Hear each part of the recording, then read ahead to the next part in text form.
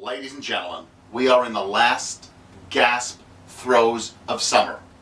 If ever there was a time to go out on the patio for a glass of wine, it is now.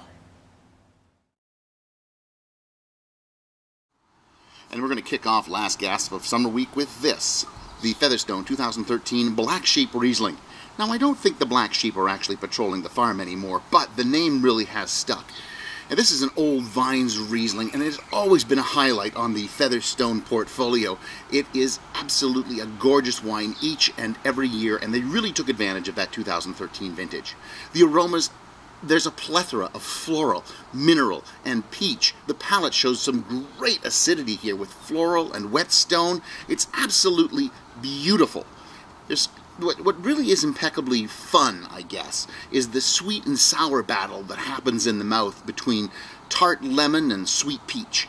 It really is a beauty, and that long finish, that great acidity, keeps it dry. That's the Featherstone 2013 Black Sheep Riesling. It's $16.95, and I give it four and a half stars out of five.